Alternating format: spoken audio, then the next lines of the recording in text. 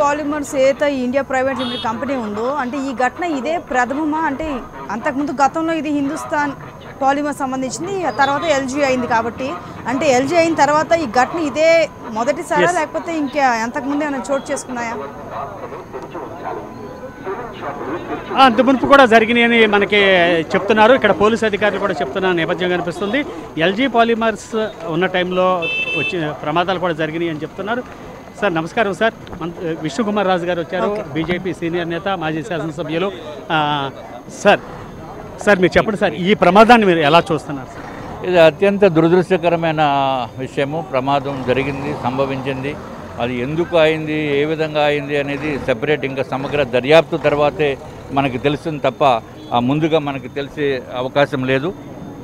ఏదేమైనా ఈ ఇది కంప్లీట్గా మనం కంట్రోల్ అయిపోయిందని చెప్పడము కరెక్ట్ కూడా కాదు. ఇది ఇంకా కంట్రోల్ కాలేదు. ఇప్పటికీ కూడా పంజెంట్ స్మెల్ వస్తుంది. ఇది కాబట్టి ప్రభుత్వ యంత్రాంగం కూడా ఇమీడియట్గా దీనిపైన ఇంకొక టెన్ కిలోమీటర్స్ రేడియస్ వరకు ఇది కంప్లీట్గా ప్రజా సంచారం లేకుండా క్లోజ్ చేస్తే మంచిది. దీని విషయం కూడా ప్రభుత్వ అధికారులు కలెక్టర్ గారు ఆలోచించవలసిన అవసరం. ఇది రియాక్షన్ స్టార్ట్ అయిన తర్వాత ఆ రియాక్షన్ ఆగిందా లేదా అనేది ఇంకా తెలియదు ఆ- ట్యాంకులో ఉన్నది కేవలము సబ్సైడ్ చేయడానికి ఇంకొక కెమికల్స్ యాడ్ చేస్తున్నారని మనకు తెలుస్తున్న అనధికారికమైన సమాచారం కాబట్టి దీనిపైన ప్రత్యేకమైన ఎక్స్పర్ట్స్ సలహాలు తీసుకుని అవసరమైతే ఇందాక చెప్పిన విధంగా ఒక టెన్ కిలోమీటర్స్ రేడియస్ వరకు కంప్లీట్గా ఒకరోజు క్లోజ్ చేస్తే బాగుంటుంది. ఇది కలెక్టర్ గారు కూడా చూడవలసిన అవసరం ఉంది. దీని మీద ఇప్పటికే ప్రధానితో పాటు హోంశాఖ కూడా స్పందించింది సార్ కేంద్ర హోంశాఖ ప్రధానమంత్రి కూడా స్పందించారు అన్నట్టుగా మనకు సమాచారం ఉంది.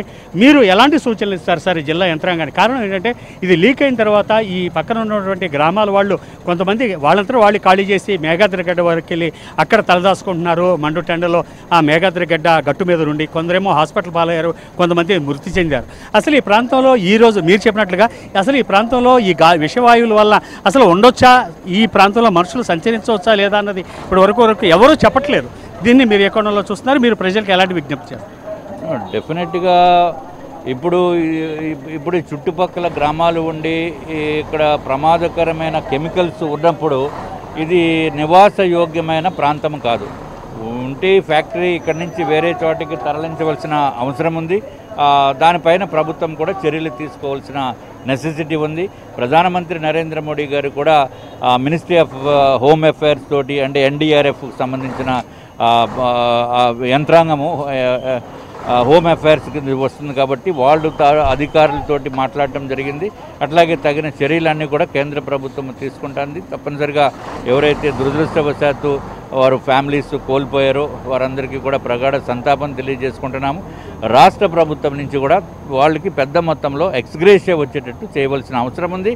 అట్లాగే ఈ యాజమాన్యం యజమాన్యం నిర్లక్ష్య ఏదైనా కనుక ఉంటే వారు తగిన తగిన కంప్లీట్గా దర్యాప్తు చేసి వారిపైన కూడా చర్యలు లీగల్గా ఏదైతే చర్యలు తీసుకోవాలో ఆ విధమైన చర్యలు తీసుకోవాల్సిన అవసరం ఉంది.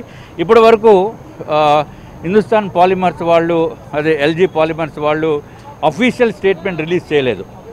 ఒక వెర్షన్ ఏంటంటే మాకు కెమికల్ రియాక్షన్ మొదలవుతుంది కాబట్టి మేము ఫ్యాక్టరీ నడుపుకోవటానికి అనుమతి ఇవ్వండి అని చెప్పి అడిగారు అని చెప్తున్నారు. అనుమతి అయితే ఇవ్వలేదు.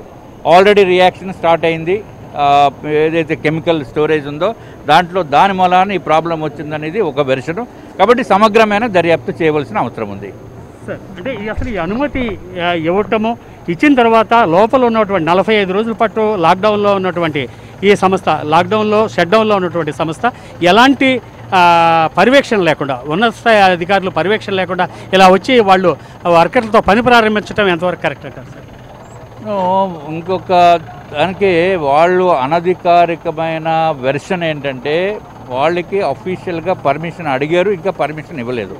సో కానీ ఏదైతే కెమికల్ ఉందో ఆ స్టోరేజ్ కెమికల్ స్టోరేజ్ ట్యాంకుల్లో ఉన్న chemical reaction forty five days తర్వాత స్టార్ట్ అయిపోతుందని చెప్పి చెప్తున్నారు. అదేవిధంగా స్టార్ట్ అయిందనేది ఒక వెర్షను. అది దర్యాప్తు చేస్తేనే కానీ మనకి పూర్తి నిజానిజాలు మనకు బయటకు రావు. ఏదైనా ఇది చాలా దురదృష్టకరమైన విషయం విషయము. తప్పనిసరిగా ఇప్పుడు ప్రభుత్వము మన రాష్ట్ర ప్రభుత్వము లేకపోతే ఇక్కడ ఉన్న అధికారులు అందరినీ కేజీహెచ్కి పంపిస్తున్నారు. కానీ కేజీహెచ్లో అంతమందికి ఉండే ఫెసిలిటీ ఉందా లేదా అనేది ఆలోచించుకోవాల్సిన అవసరం ఉంది.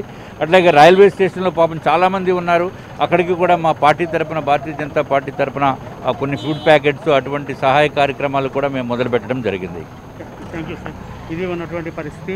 ఈ ఎల్జీ పాలిమర్స్ విషయంలో మాత్రం వాళ్ళు అనుమతులు అడిగారే తప్ప అనుమతులు ఇచ్చారా లేదా అన్నది కొంత సందిగ్ధంలో పడింది ఇప్పుడు బీజేపీకి సంబంధించినటువంటి ఏ ఉత్తరాంధ్ర ప్రాంతానికి ముఖ్య నేత విష్ణుకుమార్ రాజు మాట్లాడుతూ అది అనుమతులు ఇంక ఇవ్వలేదు అన్నట్లుగా చెప్తున్నారు. ఏదేమైనప్పటికీ ఈ ఇవ్వకపోతే మరింత చర్యలు వీళ్ళ మీద తీసుకునే. అవకాశం ఉంది. ఇక్కడ ఉన్నటువంటి పరిస్థితుల దృష్ట్యా ఇప్పటికే ప్రత్యేక ఎస్ రామకృష్ణ.